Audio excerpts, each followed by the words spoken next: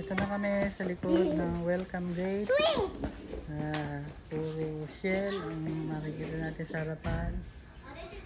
Ito yung likod. May second floor deck.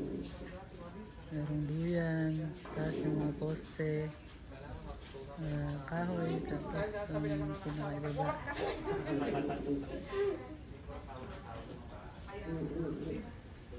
Meron silang mga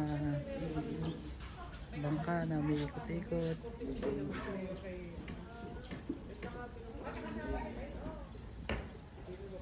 Dami na. Dati yung huling napunta ko, ilan lang ang mga bahay na nandito. Ngayon, meron ng lake. Ito yung, mga, ito yung tabi ng dagat.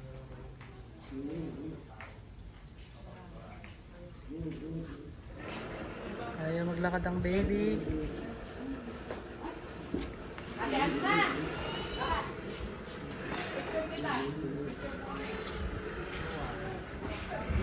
Meron silang tourist, uh, tourist boat. 1, 2, 3, 4, 5, 6, 7,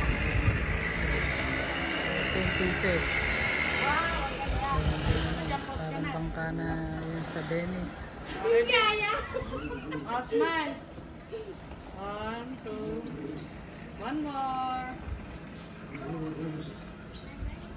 Super ganda. Wow. Sige po.